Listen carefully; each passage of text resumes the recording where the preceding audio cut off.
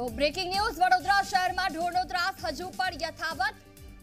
રખડતા ઢોરે વિદ્યાર્થીને અણફેટે લેતા ગંભીર ઈજા પહોંચી. વડોદરા શહેરમાં ઢોરનો ત્રાસ હજુ પણ યથાવત છે. રખડતા ઢોરે શિંગડું મારતા વિદ્યાર્થીએ આંખ ગુમાવી વાઘોડિયાના ગોવર્ધન ટાઉનશીપ નજીકની આ ઘટના. એમએસયુની પોલિટેકનિક કોલેજમાં અભ્યાસ કરે છે વિદ્યાર્થી. હેનિલ પટેલ નામનો કોલેજથી વિદ્યાર્થી પરત ફરતો હતો. તે દરમિયાન આ ઘટના સર્જાઈ. વડોદરા શહેરમાં ઢોરોનો ત્રાસ હજુ પણ યથાવત છે. પ્રદેશ અધ્યક્ષ સી આર પાટીલથી લઈ તમામ લોકોએ વડોદરા મ્યુનિસિપલ કોર્પોરેશનને ટકોર કરી છે. મેયરને પણ ટકોર કરી છે કે આ ઢોરોનો ત્રાસ જલ્દી દૂર થાય, વડોદરાવાસીઓને શાંતિ મળે. પરંતુ આ ઢોરોના ત્રાસને લીધે એક વિદ્યાર્થીએ પોતાની આંખ ગુમાવી પડી. વડોદરા શહેરમાં ઢોરનો ત્રાસ હજુ પણ યથાવત. સીસીટીવી દ્રશ્યોમાં આ આખી ઘટના કેદ થઈ. જેમાં એક વ્યક્તિ જઈ રહ્યો હતો. આ વિદ્યાર્થી બાજુમાં ગાયે ટક્કર મારી અને તે રસ્તા પર પડી ગયો અને આખરે તેણે આંખ ગુમાવી પડી.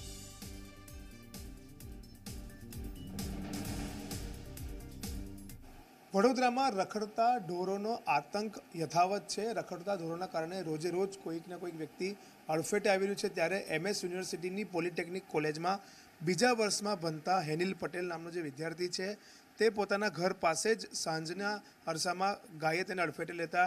આપ જોઈ શકો છો કે તેની જે આંખ છે તેનામાં ગંભીર ઈજા પહોંચી હેનિલ સાથે વાત કરવાનો પ્રયાસ કરીશું. હેનિલ તમે શેમાં ભણો છો અને એક્ઝેક્ટલી શું બન્યું હતું? કેવી રીતના અકસ્માત થયો મેં એમએસ યુનિવર્સિટીમાં ભણું છું, બીજા વર્ષમાં. મેં કૃષ્ણમ ફરસાણમાંથી બન અને સેવ લઈને જતો હતો. ત્યારે કૃષ્ણ હોસ્પિટલ પાસે એક માણસ ત્યાં ડિવાઈડર પર ઊભો હતો અને એની બાજુમાં જ ગાય ઊભી હતી. એને માણસે પથ્થર મારવાનો ઈશારો કર્યો ગાયને. તો એ ગાય સાઈડ સાઈડ પર આવી ગઈ અને મેં સાઈડ પરથી જતો હતો, તો એનું શીંગડું મને માથા પર વાગ્યું. ગાય અચાનક આવી ગઈ અને મારું મોડું ત્યાં ગાયના શીંગડામાં અથડાઈ ગયું અને ત્યાં પડી ગયો નીચે.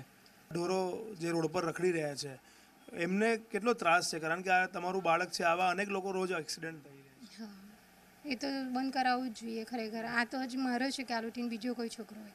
તો આવું થાય તો ના ચાલે ને. શું પછી પોલીસને જાણ કરી આપી? પોલીસને જાણ કરી હતી. પોલીસ તપાસમાં ત્યાં ખાલી ઇન્કવાયરી માટે આવી હતી હોસ્પિટલમાં.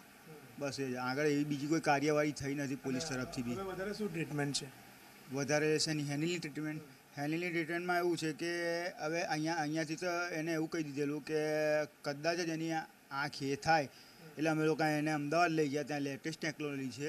એટલે ત્યાં લગભગ કદાચ સારું થઈ જાય. ગાય તો ઠીક છે કે તો મૂંગું પ્રાણી છે, બરાબર છે. હવે જે ઢોર જે એનું દૂધ ને એની કમાણીને બધું ખાય છે, તે લોકો એમની માવજત કે એમની જાળવણી કરવી જોઈએ અને એમની, એટલે એક્શન સીધું એમની પર જ લેવાવું જોઈએ જે ઢોરને એના માલિકો છે, એમની ઉપર જ એક્શન લેવાવું જોઈએ. ઢોર પકડવા આવે છે તો એની આગળ પાછળ બધા એમના જે રબારીને લોકો જે છે એ બધા આગળ પાછળ બધા લાગેલા જ હોય છે. કોઈ એ લોકો પર એક્શન લેવાતું જ નહીં. એ લોકો ગાયો ભગાડી ભગાડીને દૂર ભગાડી મૂકે છે. તે ટાઈમમાં બી તમે જુઓ કે કોઈ બી તે વખતે કશું બી થઈ શકે છે. આપણને પોતાને ખુદને બીક લાગતી હોય છે કે આ લોકો ગાયો ભગાડે છે. તો આ કોઈ વાગશે પડશે કોઈને. પણ એ લોકોને એવી કોશી પડેલી હોતી નહીં કોઈ માણસની. આના માટે જવાબદાર કોર્પોરેશન માનો છો કે ઢોર માલિકો? કોર્પોરેશન ઢોર માલિક બધા જ આવી જાય સાહેબ. બધા જ મિલીભગત છે.